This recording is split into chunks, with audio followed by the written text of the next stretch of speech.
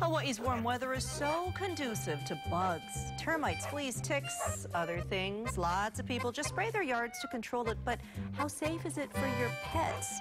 Susan Tam, Communications and Events Coordinator at Hawaiian Humane Society, and Dr. Kristen Levins from the Veterinarian Emergency Referral Clinic are here with some thoughts. Good morning, ladies. Good morning. I've enjoyed our robust discussion during the commercial break.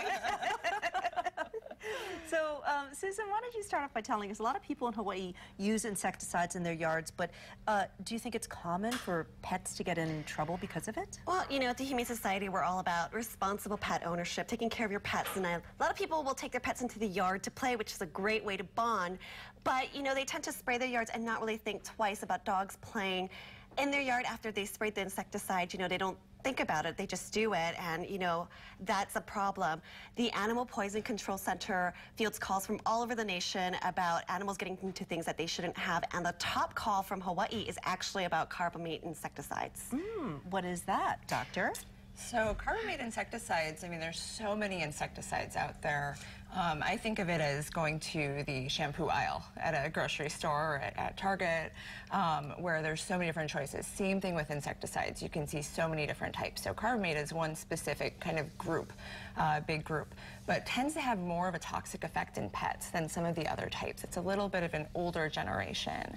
Um, so we can see it potentially some very, very serious side effects with that. Okay, so is it, it's like a base ingredient in a number of...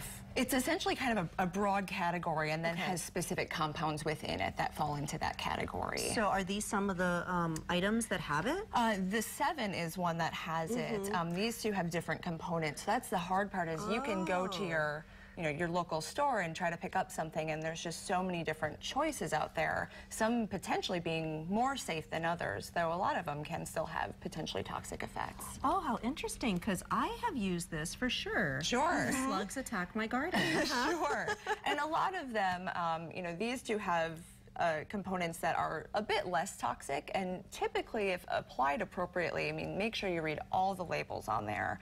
Um, do a little bit of research, but if applied appropriately and you keep your pets away, most can be pretty safe, but um, still could pose risk if you're using a lot of it um, or if your animals have access to it. Well, okay, so what do, what do we do if we think our pets ingested it? So the big signs that we can see with pretty much any insecticide depends on how much they get into and it depends on the specific compound. Um, but typical signs um, um, can be gastrointestinal upset, so vomiting, diarrhea, they can drool a lot, um, and then also uh, neuromuscular effects, which means kind of tremors, convulsions, seizures.